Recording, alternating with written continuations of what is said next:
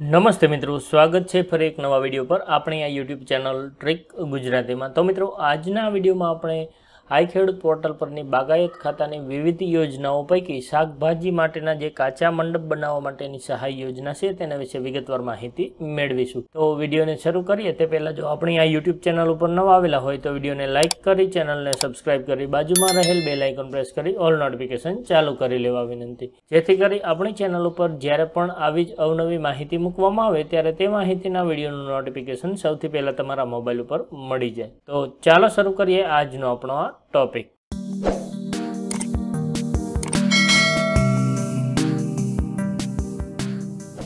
તો મિત્રો, આ યોજના છે શાકભાજી માટેના કાચા મંડપ બનાવવા માટેની સહાય યોજના. અને બાગાયતી ખેતી કરતા ખેડૂતોને આ પ્રમાણે શાકભાજીના જે કાચા મંડપ બનાવવા માટે છે તે રૂપિયા ત્રાણું હજાર છસો સુધીની સહાય મળવાપાત્ર થાય છે. તો વિગતવાર સંપૂર્ણ માહિતી મેળવવા માટે આ વિડીયોને છેલ્લે સુધી જોતા રહેજો. જેથી કરી જો તમે પણ આવી શાકભાજીની ખેતી કરતા હોય તો કાચા મંડપ બનાવવા માટેની સહાય યોજનાનો લાભ લઈ શકો. તો ચાલો હવે આપણે વિગતવાર માહિતી મેળવતા જઈએ.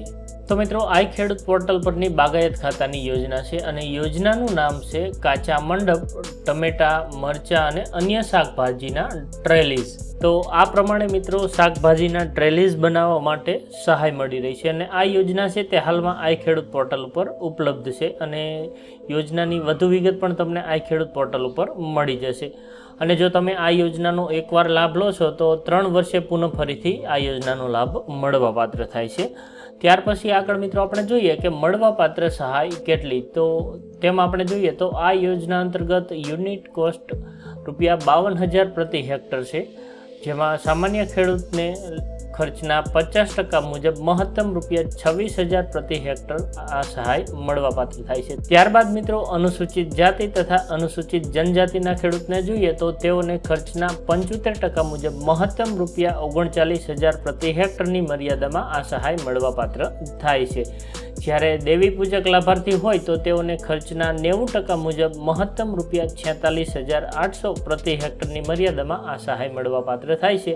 અને આ સહાય છે તે ખાતા દીઠ વધુમાં વધુ બે હેક્ટરની મર્યાદામાં મળવાપાત્ર થાય છે. તો આમ આપણે સામાન્ય ખેડૂતને જોઈએ તો રૂપિયા છવ્વીસ હજાર એક હેક્ટરે એટલે ટોટલ રૂપિયા બાવન હજારની સહાય મળવાપાત્ર થાય છે.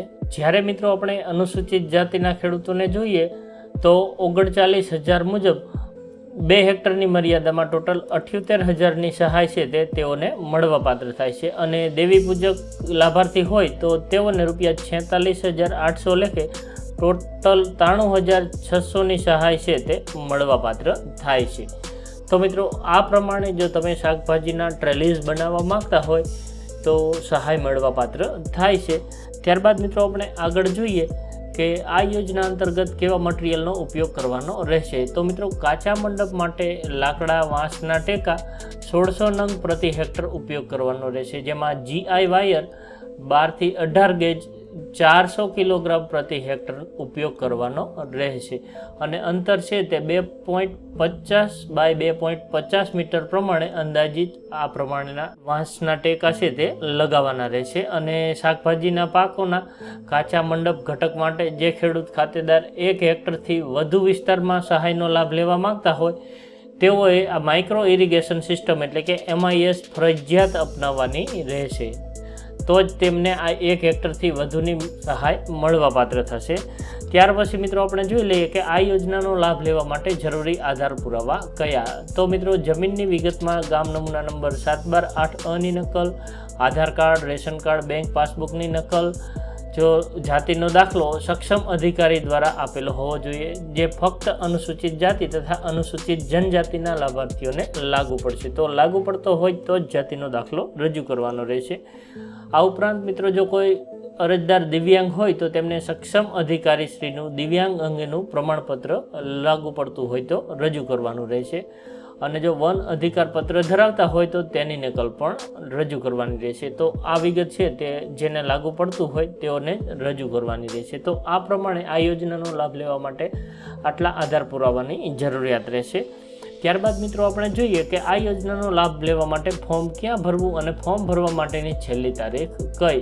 તો મિત્રો, આ યોજનાનો લાભ લેવા માટે આઈ ખેડૂતની વેબસાઇટ પર જઈ અને ઓનલાઈન ફોર્મ ભરી શકાશે. તો આઈ ખેડૂતની વેબસાઇટ આપણે અહીંયા આપેલી છે i Khedut dot Gujarat dot gov dot in આ વેબસાઇટ પર જઈ અને ઓનલાઈન અરજી કરવાની રહેશે. અને ફોર્મ ભરવા માટેની છેલ્લી તારીખ એકત્રીસ પાંચ બે હજાર ત્રેવીસ છે. આ ઉપરાંત મિત્રો, આપણે અહીંયા આઈ ખેડૂત પોર્ટલનો હેલ્પલાઇન નંબર પણ આપેલો છે. તો હેલ્પલાઇન નંબર છે અઢાર ડબલ જીરો એકસો એંસી પંદર એકાવન. આ નંબર ઉપર કોલ કરી આઈ ખેડૂત પોર્ટલ પરની વિવિધ યોજના વિષયક માહિતી મેળવી શકાય છે. તો મિત્રો, આશા રાખું કે શાકભાજીના ટ્રેલીસ બનાવવા માટેની જે યોજના છે તેના વિશે વિગતવાર સંપૂર્ણ માહિતી આપને ખ્યાલ આવી ગયો હશે. આ ઉપરાંત મિત્રો જમીન રેકર્ડ, દાખલાઓ, સરકારી યોજનાઓ, સરકારી ભરતી, આધાર કાર્ડ, પાન કાર્ડ અને બીજી ઘણી અન્ય ઉપયોગી માહિતી માટે આપણી વેબસાઇટ ટ્રીક ગુજરાતી ડોટ કોમની મુલાકાત લેતા રહેજો. આ ઉપરાંત આપણી ટેલિગ્રામ ચેનલ પણ છે, તો તમને ટેલિગ્રામ ચેનલની લિંક અહીંયા જોવા મળી જશે અને ડિસ્ક્રિપ્શનમાં પણ આની લિંક આપેલી છે.